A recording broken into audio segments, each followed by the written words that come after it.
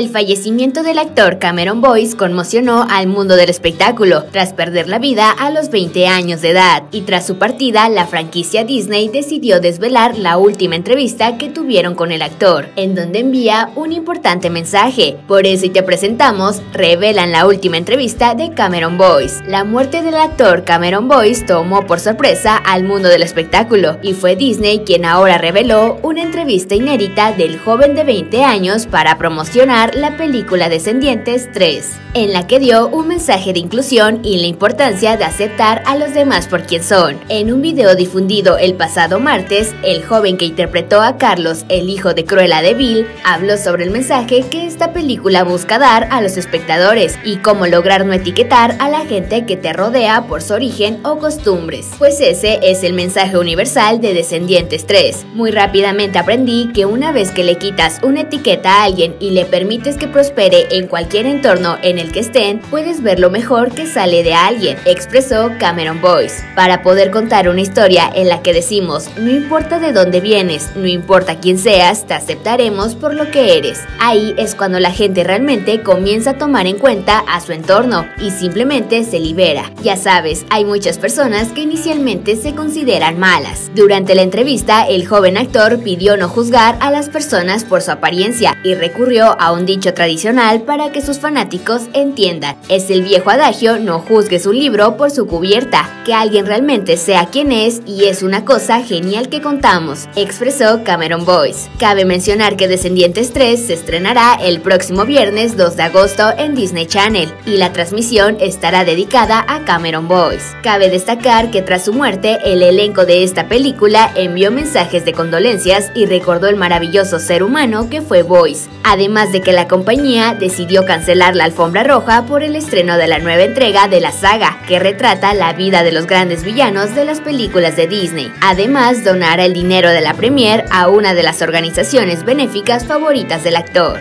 Sin duda alguna, recordar de esta manera al actor es una manera increíble de mantenerlo vivo. Pero tú, ¿qué opinas? Yo soy Daniela y espero que este video te haya gustado. Y si fue así, no olvides regalarme un me gusta y suscribirte a este canal. Eso me ayudaría muchísimo. Nos vemos en el próximo video.